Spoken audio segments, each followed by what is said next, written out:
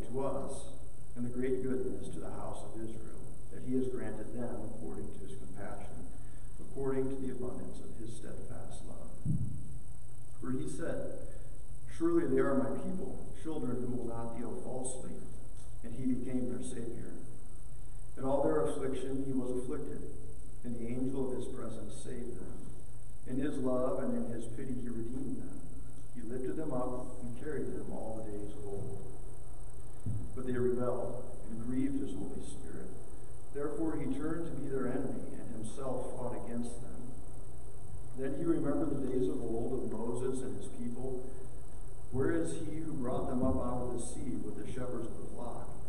Where is he who put in the midst of them his Holy Spirit, who caused his glorious arm to go at the right hand of Moses, who divided the waters before them, to make for himself an everlasting name, who led them through the depths? Like a horse in the desert, they did not stumble. Like livestock that go down into the valley, the Spirit of the Lord gave them rest. So you led your people to make for yourself a glorious name. This is the word of the Lord. Thanks be to God. The epistle from Paul's letter to the Galatians, the fourth chapter. When the fullness of time had come, God sent forth his Son, born of woman, born under the law, to redeem those who were under the law, so that we might receive adoption as sons. And because you are sons, God has sent the Spirit of his Son into our hearts, Abba, Father. So you are no longer a slave, but a son. And if a son, then an heir through God. This is the word of the Lord. Thanks be to God.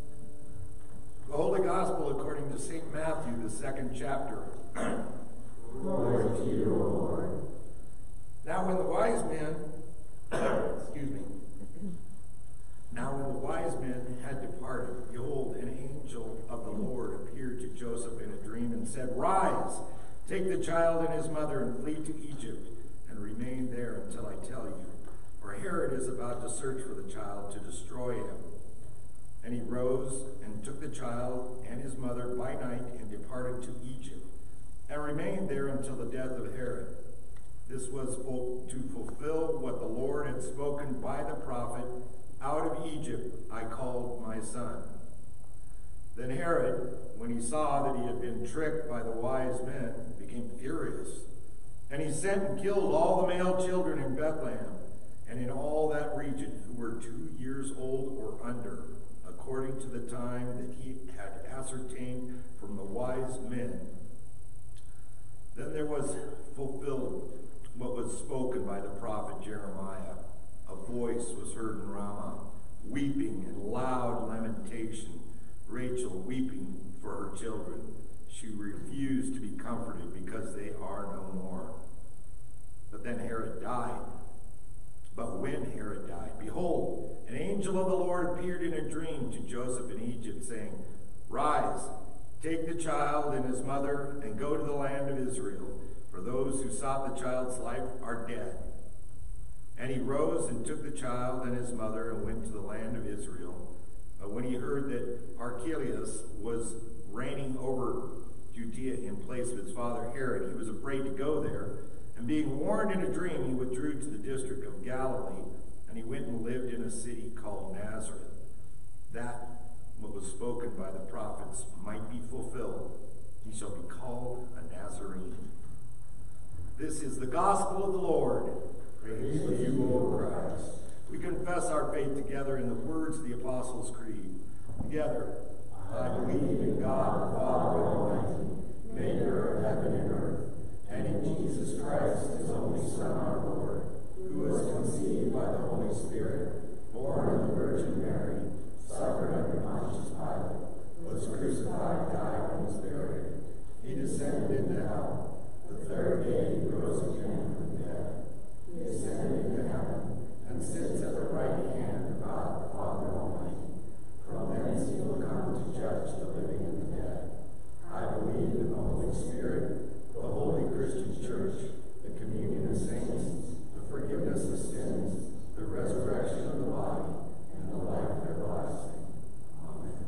You may be seated and the kids can come forward for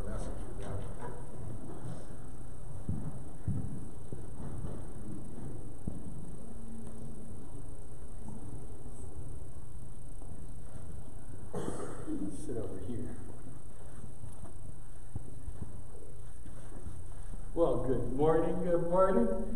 It's, uh, there's, there's, I think, a lot of kids that, that stayed up late last night, including my own. They're coming to the evening service tonight. Uh, but it's good to see you guys here this morning. And, uh, and, you know, well, Christmas is over, and uh, there's, well, there's really 12 days of Christmas, right? That's why we're still celebrating Christmas first Sunday after Christmas.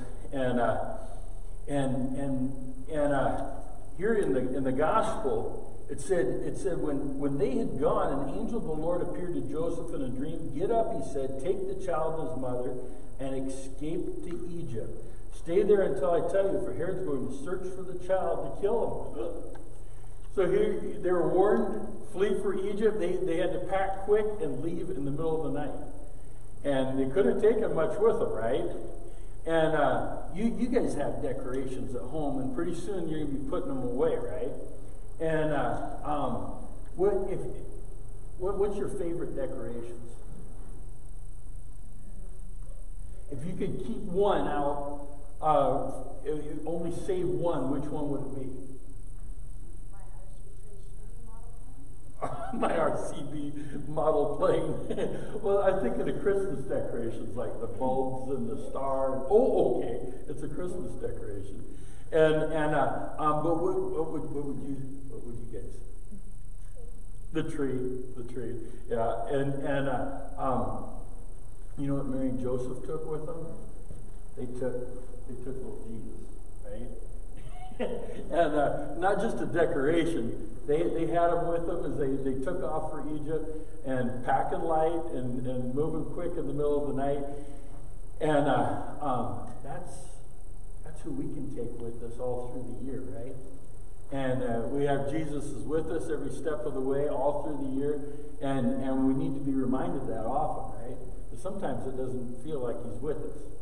And we're reminded in Scripture, He'll never leave us nor forsake us. He's always with us.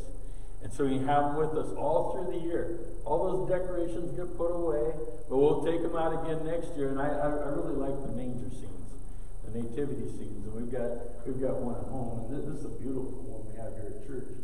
And uh, but those will be put away and they'll be taken out next year. But we'll have Jesus with us all through the year, won't we? We'll pray. We'll pray with me, dear Jesus be with us this year. Protect and comfort us. Because we need your help and comfort. Amen.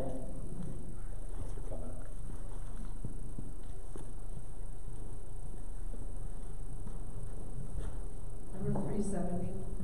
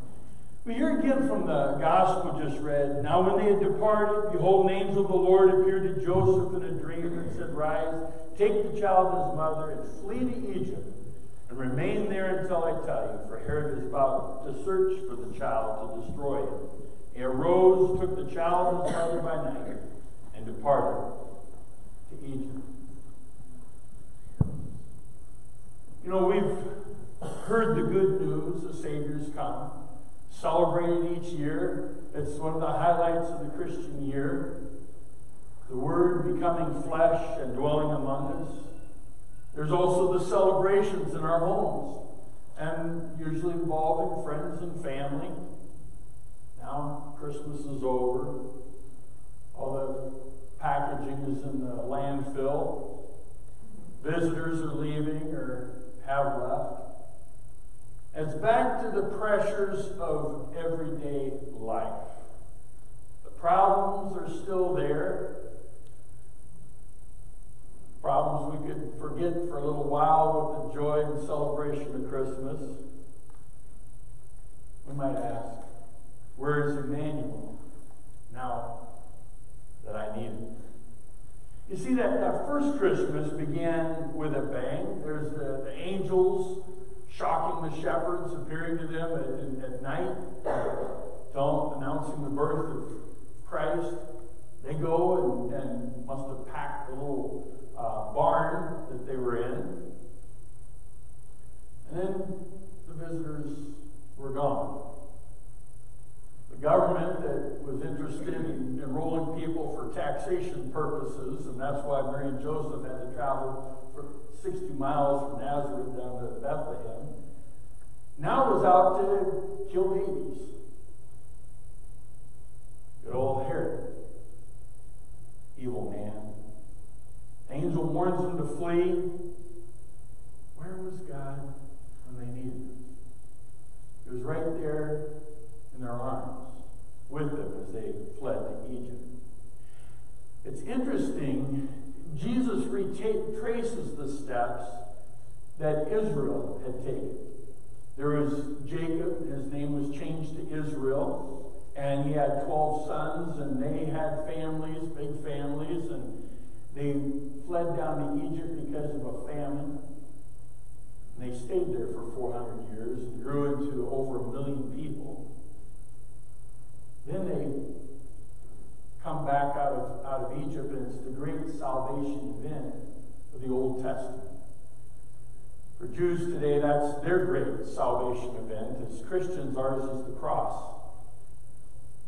For them, it's being rescued from Egypt, from the power of the Pharaoh his minions. And it was a difficult journey for Israel going back, and they spent 40 years wandering around the desert and the temptations, the trials, the complaining. Where's God? We. We're going to die of thirst. Going die of hunger. God provided for them. He's present with them by a cloud by day and a pillar of fire by night. Here, Jesus he traces those same steps, going down to Egypt. And they hide out down there till Pharaoh dies. Pharaoh tried to destroy Jesus, winds up dying just a few years later.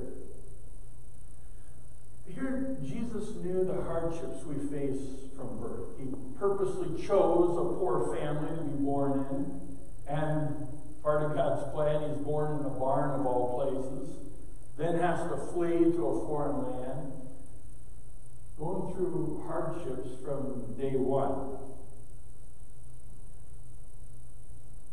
Here we are on a journey home to heaven. And that's our promised land. We're just strangers here, just passing through. And it isn't easy. But God's promised to be with us. That's what Emmanuel means God with us. And He's with us every step of the way. He doesn't promise that the Christian life will be easy, He does promise to be with us. And we're too weak or beat up to go on, He picks us up and carries us. We're also in a land like Egypt. We're foreigners here. Is the promised land. There's bondage to sin. There's oppressive government and taxation, and even a government that kills thousands of babies per day in the United States. We're pilgrims on a journey to the promised land, heaven. And we, like the Israelites, grumble along the way. Where's God when we need him? And he's right there in our midst, and we see his hand again and again, rescuing us, sustaining us, upholding us. How's your journey? Your life full of trials and hardships, most of ours are. You grumble and complain sometimes.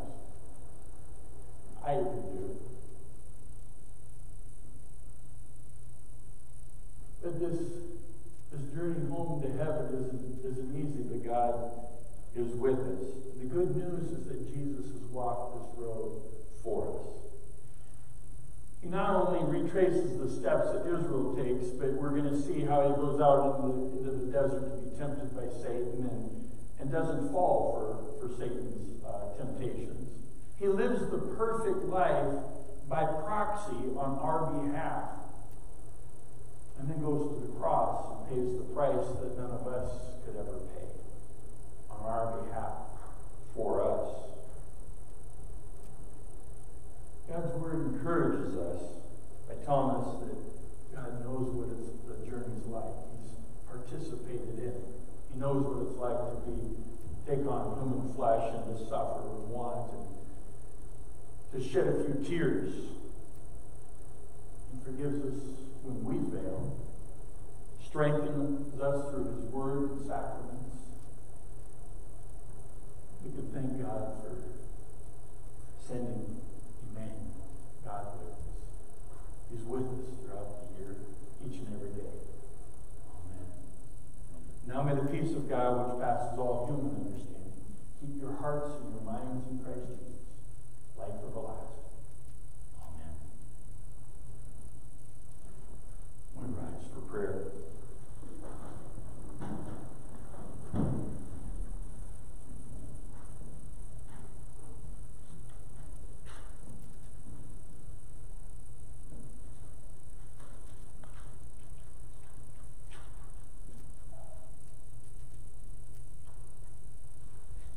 We join our hearts in prayer. Bring remembrance, O Lord, all of your saving acts, but most especially the gift of your only begotten Son, that we be brought to repentance and faith by the proclamation of Christ and trust in him for the forgiveness of our sins and for everlasting life. Lord, in your mercy, hear our prayer. O Lord, as we recall